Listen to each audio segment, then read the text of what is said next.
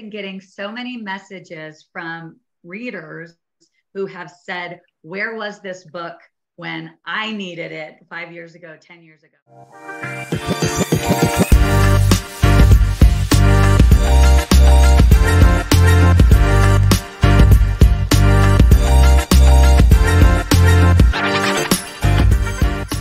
Welcome to the session. We are uh, here to discuss a book by Jodi Hrbek, uh, Rock Your Role as Salesforce Admin. Welcome, Jodi. Uh, thank you for joining us today.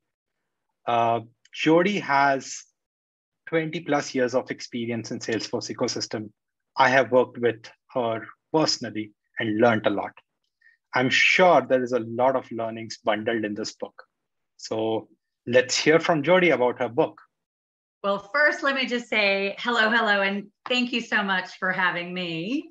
And it has been my pleasure to have worked with you in the past. Um, and I have to give a shout out. It's been really fun to watch the growth and success of your company. Um, so you. I'm I'm really pleased to be to be part of this today and and to to, to have had an opportunity to um, partner with you previously. So thank you for that.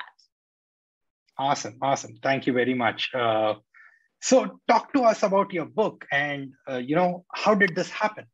Yeah. So yeah. So rock your role as a Salesforce admin, and the subtitle I got to call out so everybody understand what it's about. It's create value, calm the chaos, and supercharge your Salesforce career. And this is a book, as as you said, I I like to tell everybody 20 years in the making, and it only took one pandemic for me to actually sit down and get it over the finish line. Um, but it's been something that I've been thinking about for a long time. And um, as you've mentioned, 20 years is, is not an insignificant Salesforce career. Um, and in that time, I've had the opportunity to literally work with dozens of Salesforce admins. Um, I think when I did the math, there were almost 30 that I had directly hired and managed in client side roles and I've worked with dozens more in the course of um, the tenure I had working at Salesforce as a customer success manager. Um, I was a freelance um, consultant for a long time where I was helping people actually train up internal staff who would own the system after after I'd implemented it. And it it was clear to me that you know sometimes it's just little tweaks that really differentiate the ordinary Salesforce admin from the extraordinary and i really believe that everybody wants to come in and rock their role as as i like to say and do a great job and add value. And it's not always intuitive what that means beyond you know hands on keyboards right? It's not really intuitive sometimes that there's processes and procedures that you can do and certainly that there's different skills and soft skills and things that are beyond just technical salesforce administration that can that can really make the difference. Um, so I'm sure I'm sure you've seen some of those things over time, right? The the difference between the the okay and the superstars that are really making a difference on the Salesforce front. That's correct. And uh, since I'm in India, you know, there are a lot of Salesforce developers who who think that you know being a developer is a big thing, but taking this responsibility of admin is super huge. And I've seen people grow in their career if they have the qualities which you have mentioned in the book. So let's let's talk about who is the real audience here. Yeah. Who yeah, who, who is the audience so of this book? Clearly, my my ideal avatar, my target reader, if you will, is a client side Salesforce admin. That is where I have spent, you know, the bulk of my career on the client side. It's a, it's a role that's near and dear to my heart. I believe that Salesforce admins are unsung heroes and that they're leaders inside organizations in the sense that um, they're so influential when done right in how they're able to impact processes and systems that, that you know not only drive the associated experience but also you know the customer experience. Um, and it's often a job where you're not leading in the sense of having necessarily a big title but really can leave a huge and very um, impactful footprint on an organization.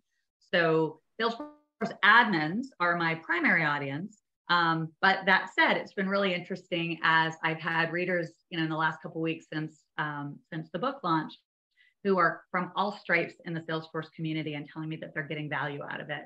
And you know, certainly there's a lot of crossover with Salesforce consultants. Um, yes. There's a few things in the book where you know we would certainly probably operate a little bit differently in terms of how we negotiate with internal stakeholders versus um, you know paid clients. Um, but for the most right. part, the scores, the core skills really are the same in terms of you know the the message of adding value is make sure you're figuring out what they really need, the why behind the ask, um, figuring out what they need, not what they ask for. You know, that's a that's a skill that's very relevant for consultants as well as admins. Um, so, you know, I like to think there's a little something for everybody, um, even if your actual title is not Salesforce admin, if you play in this space. Correct. And I would definitely say that a lot of uh, Salesforce developers based out of India can take a lot of value from your book as well, because uh, when we say developers, they do both the jobs, admin as well as development. So a lot of value can be derived there as well. So, so Jodi, tell me, uh, if if you are starting out this uh, like 20 years ago, and if you had this book, what's the five things you would like take this and like be be super amazed of this? Yeah, so great question. And I'll tell you, I might have had a different answer a couple weeks ago before I launched it.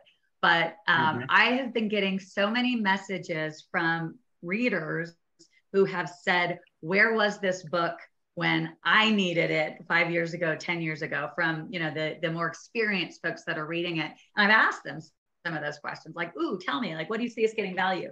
So I'm gonna I'm gonna answer based on some kind of real world um, feedback that I've already had in terms of what what people are getting. Um, one is I've had a lot of people say, you know, I didn't know exactly what the admin job entailed, right? Mm-hmm. And so the ability to read a book that kind of gives you a sense and gives you a little bit of color of what kind of things am I actually going to be doing? What's it going to feel like to be in this role? What kind of conversations will I have? What kind of projects will I do? Right. And so that was one of the um, the pieces of feedback that I got specifically. Um, I cheated. I took a couple notes. Um, the, the second thing that somebody said to me was, I wish I had this, is it provides some really good ideas around, you know, what what do I need to know as table stakes aside from the org itself? Um, and I, mm-hmm. I have a chapter in the book to. It's called um, Know Thy Company, Know Thy Peeps, and Know Thy Org. Um, and the company and the peeps are, are pieces that um, I've been told people don't always give as much credence to in terms of, you know, it didn't occur to me that I needed to come in and spend as much time observing how the organization worked, observing the culture of the organization, understanding what the company's mission and the company's objectives are. And then of course sitting down with users and and not just end users but functional leaders be it sales leaders customer support leaders. So um, some of those things i think those of us that have been doing this for a long time take for granted. Of course you would hmm. do that right? Of course you'd meet with leaders. Of course you'd meet with end users. But you know the feedback that i've had is especially for newcomers they're so focused on the app and what they've learned and making sure they're remembering all the things about roles and profiles and security. There's that whole element of the job that maybe they hadn't even thought of yet. Um, correct, correct. So they just I'm assuming say, you relate. Are the are the sharing rules? Are the criteria based sharing rules, or uh, you know somehow it is shared?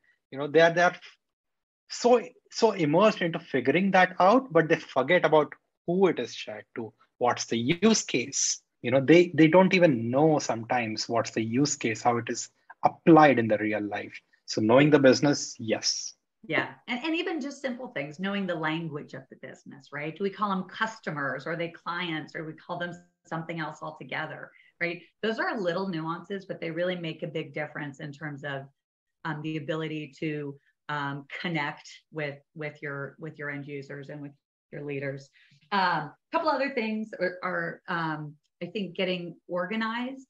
So that's another piece of feedback that, that I've had. So the, you know, the, the book has, you know, some things that are very soft skill based, but I do weave in there some tactics Um, mm-hmm. So um, you might remember, because you and I work together, that one of the things that I do in almost every org I ever work in is create a custom object called Object Overview.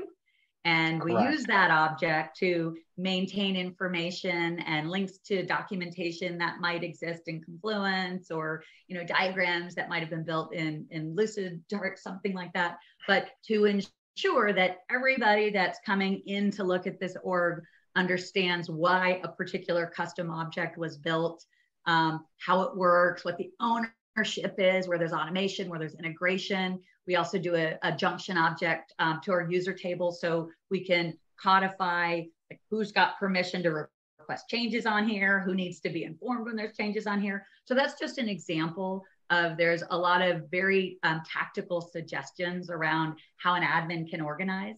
Um, so that's a piece documentation. That, yes, exactly. That that I um, that I hear a lot about as, as far as adding value. And then I think the, the last piece that people have said to me um, has been, you know, I wish I knew this was going in to the role, having an expectation and understanding that you're not just an order taker allows you to really kind of step in from the get-go into that power and be the leader and the influencer and and recognize the role that you play right? And and i believe wholeheartedly done right you know, a great Salesforce admin is not there to take orders. The value they bring is the expertise in the platform and being able to make recommendations and you know what's rolled out and when's it rolled out and how is it rolled out and you know how can we make this platform this investment be even more successful and impactful for a company? And i think if we can get everybody knowing that going in right it's a shorter learning curve. They're held to a higher standard even in their own mind um, and it's a it's a win-win for everybody. Correct. Do, do you think in, in a professional um, software development methodologies, we have a role of business analyst? Uh, we kind of don't have that roles ever in the Salesforce ecosystem. Do you think an admin and business analyst roles overlap somewhere? Yeah, it's a it's a very hot topic these days, to be for sure. And you know, we've certainly seen that with the new certification that came out. Um, mm-hmm. So I think you nailed it in the sense that historically that was not a role in the Salesforce ecosystem. By the way, historically, product management was not a role in the Salesforce ecosystem, right? I mean, I guarantee you, three, four years ago, that wasn't a term, neither of those things that you really heard if you were doing Salesforce for a living. And I think it's twofold. I think um, the complexity of the platform as it's becoming more like any other part of the tech stack is starting mm-hmm. to warrant teams that look like more traditional software teams, right? That are doing custom dev. And right. I, I think we're seeing that in the roles that are showing up and how teams are being formed.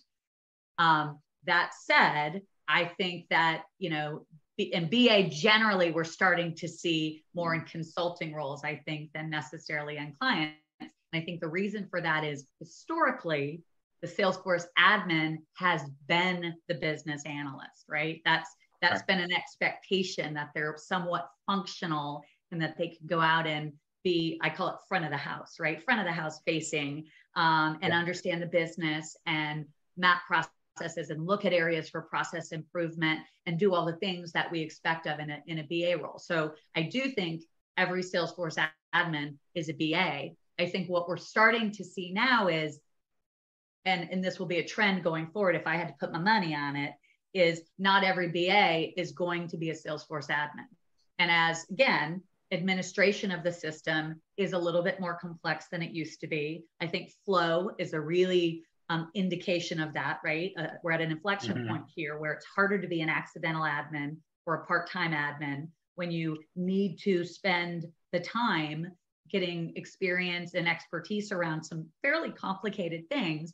We're going to start seeing more of a bifurcation between who's doing hands on keyboard and who's doing front of the house work. Um, I think it's good in a lot of ways, but I also think we need to make sure we don't lose the secret sauce, which has always been Salesforce, which is business people who weren't technologists. Me, I'm a I'm a, grew up in sales. I'm I'm sales sales ops, right? I'm not a technologist, and yet I've been you know building Salesforce systems for 20 years. That's part of the secret sauce. We knew what was needed. We knew how to build things that worked um, for business people because we were the ones that needed to use it. So you know, progress is great. And I think that you know the new innovation on the platform that we're seeing regularly is amazing. We just have to be really careful that we don't lose that secret sauce. Awesome, awesome. Completely agree with you. Would your next book be targeted towards business analysts? well, by the way, there is there is a chapter in here which talks about putting on your BA hat. So I I do recognize wow. the, the importance of this um, it's funny. I, I go back and forth. I do I do see future books um, in my in my in my short term horizon, assuming that I continue to get good feedback.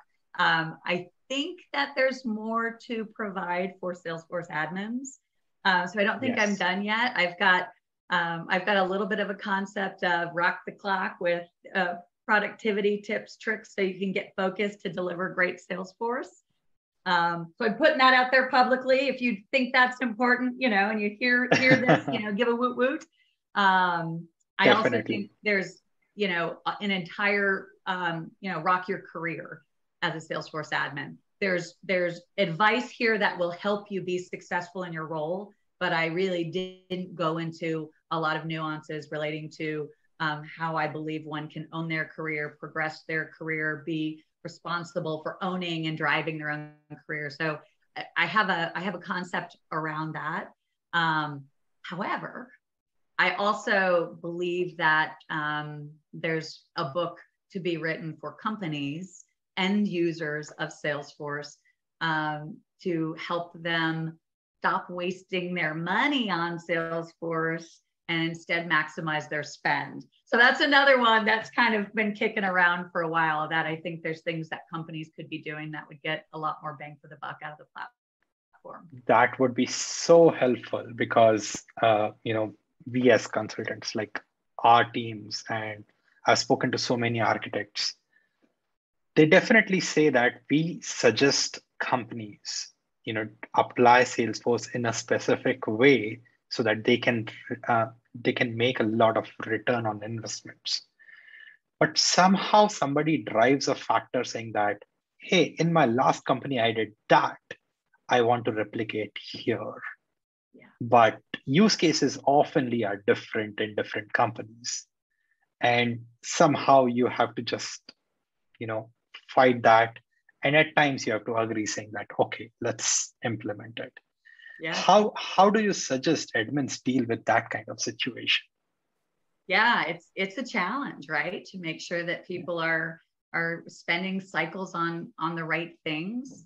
So i think i think there's a couple things. One is i think there's a lot to be said around providing context and i think ad- admins can be really helpful in this. And what i mean by that is a lot of times people ask for things and you know 80% of it's really easy and let's just say i'm making up a number 20% of it's really hard.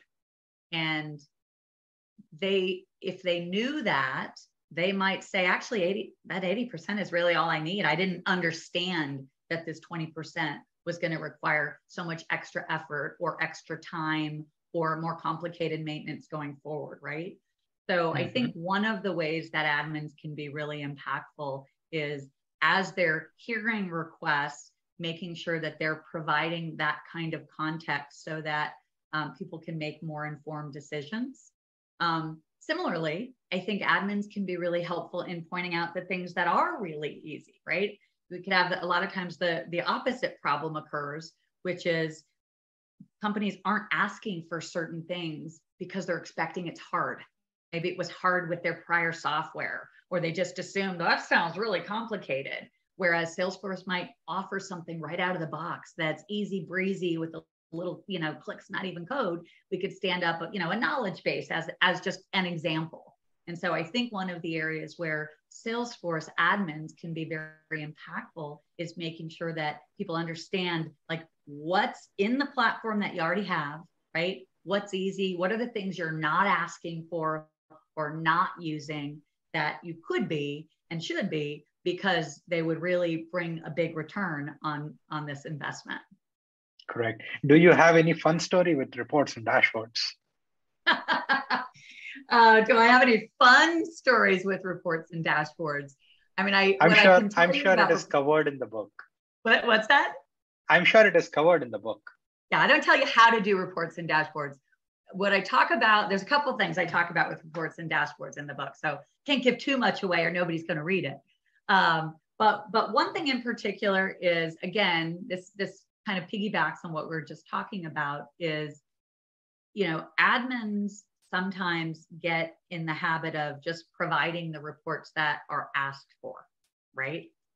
And I think, you know, where they really add value is thinking about what's not being asked for that's in here that I can serve up, right? I mean, the the Salesforce admin knows the data that's in the system. They know there's nuggets in there that are full of the insight about the company or the sales process or what, you know, where there's, you know, gaps in the customer service process, whatever it is. And they also know that there's probably plenty of things that people aren't looking at that they should be. So, you know, mm-hmm. one piece of advice I offer is making sure that you're being thoughtful not only about what's asked for and how that's presented, but what's not asked for. And then here's here's the big, you know, the big aha. We're not just serving up the report, we're helping, you know, call out the so what? What's this report telling me? Why do I care? And then taking it one step further and saying, and what do I have in my admin bag of tricks that can help solve that problem? Right. Right. So if I've got a report that's showing that certain sales reps, for instance, are, you know, having problems losing the sale because they're not, you know, talking to enough people in the organization. Well, what do I have in my bag of tricks that can help with that? Whether that's, you know, different ways that we can leverage opportunity roles and, and put that on a leaderboard, whether that's something I can do with Path to enforce a sales process, like whatever it is. I don't know off the top of my head all the things. But the idea is where Salesforce admins can really add value with reporting is again, identifying things that people aren't looking at, but then saying, you know, so what? And how can I help with whatever that so what is? Great, amazing. Totally 100% agree with that statement. For the audience, uh, we will drop the link of the book in the description. Please order it. Uh, I'm shamelessly promoting this book. Uh, Jodi, do you want to speak about the promotion? Well, so the only other thing I want to say is this, because we've only talked about one part of the book, which is adding value. And I, there's a second half of the book that I would be remiss if I didn't mention. And early on, when we said, Why did I write the book? I want everybody to rock their role and be a superstar admin. But there's something that I warn everybody about, which is I call it the Salesforce admin conundrum which I've seen a lot, which is the more value you deliver, the more everybody wants a piece of you, right? Finance wants in, and now customer support wants in, and marketing wants in. They've seen what you've done and they want a report and a dashboard. And hey, my whole process should be automated. And so there's a challenge with really great admins who, by the way, love to say yes and love to help and think there's nothing more fun than delivering solutions that like rock your, you know, your constituents' world. That's great fun. So we're like, sure, sure, I'll do it. And we end up overwhelmed. And I've been there, I've seen my team be there. And so I would be remiss if I didn't say the second reason I wrote the book and the second half of the book is really strategies and tips to help you over deliver without overwhelm. So I just wanted to throw that out there because um, that's important to me. Um, that if we're going to be teaching people how to go above and beyond in the role, that we're also going to help give them essentially some tools to avoid, um, you know, feeling like it's out of control and not sustainable. We want people to have very successful and sustainable and enjoyable and profitable Salesforce careers. Awesome. Okay. Uh, Salesforce has grown from, you know, uh, in, in last 20 years. I mean, you also have 20 years of experience. Salesforce is 22 years old, 23 maybe. Uh, what are the changes you have seen in the Salesforce ecosystem? Yeah. So I, I always like to tell people a couple fun facts, by the way, when we're talking about you know, what Salesforce was like when when I started. And you, you know, 20 years ago, I literally went to the very first Dreamforce. Um, it's one of my claims to fame. Um, and wow. at that Dreamforce, I met with a Salesforce product manager to explain why we so de- desperately needed an or statement in our reports, a filter to report on or. Because back then, if you wanted to report on this or that, you literally ran two reports. wow. Wow. When, we, so... we talk about how far we've come, I like to say, like, literally, that's where we started without an OR filter in our reports. So we didn't have dashboards. Um, we we didn't have Apex. We were we didn't even have S controls when I started. They they came and then went over the years.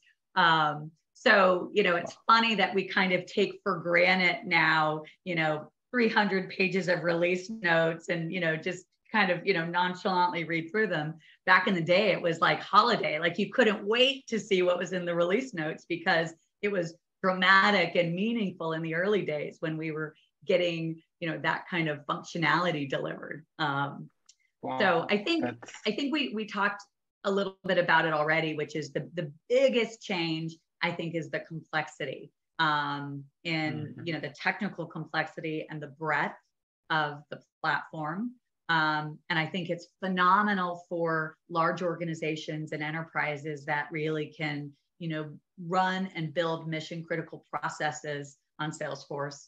Um, i think it's challenging for the smaller companies and the nonprofits as we continue to um, have things be more powerful but yet more complex. And i think i think it's going to be interesting to see over time um, how that plays out correct and and specifically speaking about smaller companies they also get a lot of out of box features saying that okay this is a turnkey solution for you let's take it and run it and there's so much of App Exchange products too helping you just getting started, you know. So uh, great. Coming back to admins, for the newer admins who are seeing this for the first time, entering this ecosystem, what's what's your one advice to them? Yeah. So first of all, I am so bullish on a Salesforce career. Like jump in. There's so much opportunity. So, you know, absolutely my advice is like go do this. Um, I always, you know, I get I get asked a lot, should I take a role as an admin or should I take a role as a consultant?